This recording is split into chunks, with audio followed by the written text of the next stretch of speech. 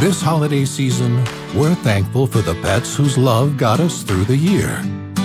But next year, get ready to love even bigger.